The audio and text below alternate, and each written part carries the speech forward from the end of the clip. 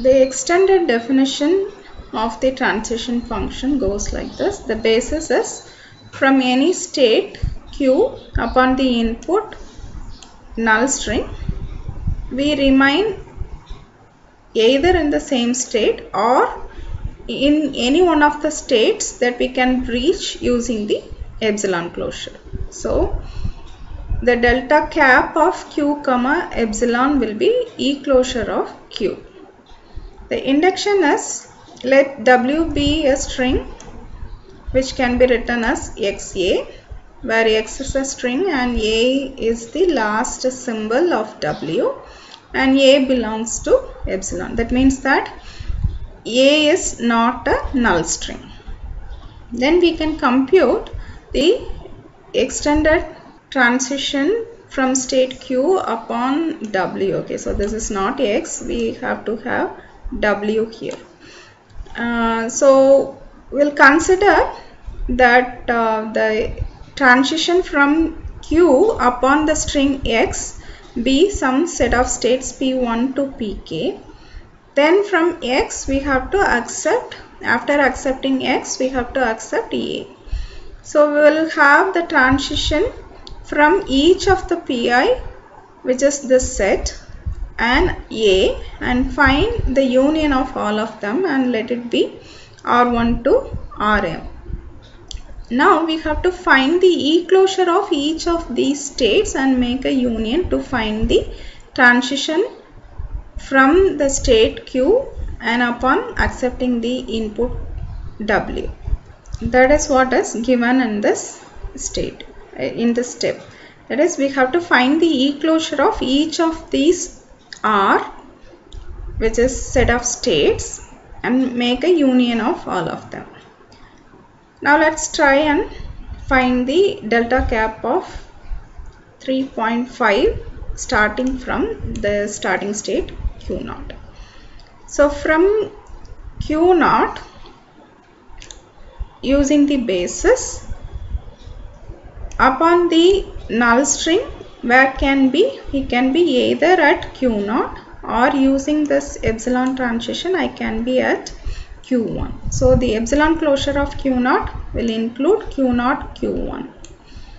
Now delta cap of 3 that is we are concatenating null string with 3. Now we have epsilon closure of the delta, the transition from q naught comma 3 union delta of q1 comma 3. We have to find the transition, these two transition make a union and to the result of this we have to apply the e-closure. So from q naught upon the digit we don't have any uh, input on the digit. So this transition is null. Union from Q1 if I get a digit either I can stay at Q1 or we can move to Q3. So we will have uh, Q1 Q3 we have to make a union of them so we will have Q1 Q3 to this we have to apply the E closure. So E closure of Q1 will be Q1 using the basis and there is no epsilon transition from Q1. So the epsilon closure of Q1 is Q1 union we have to compute the epsilon closure of Q3 and using the basis we'll have Q3 and there is no transition upon the null string. So we'll have Q1 Q3 and we have delta cap of Q0 comma 3 followed by the decimal point dot which is e closure of from q1 upon um, the decimal point where do we go? Union the delta of q3 comma dot and the result to, for the result of this union we have to apply the e closure which will be from q1 if we get a decimal point we go to q4 okay so that is this one union and from q3 if we get a decimal point we go to q2 and to this we have to apply the e closure so when we apply the e closure at Q4 we get Q4 and E-closure of Q2 is Q2.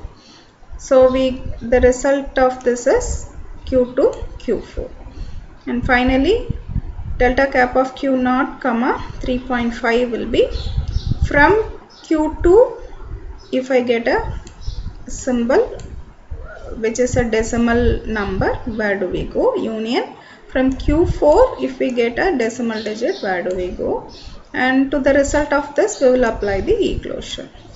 So from Q2 if we get a digit we go back to Q2.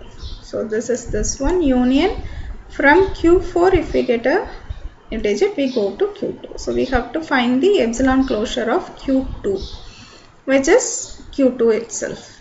So that is the uh, result of when we start from Q0 and accept the input string 3.5 will be ending at Q2.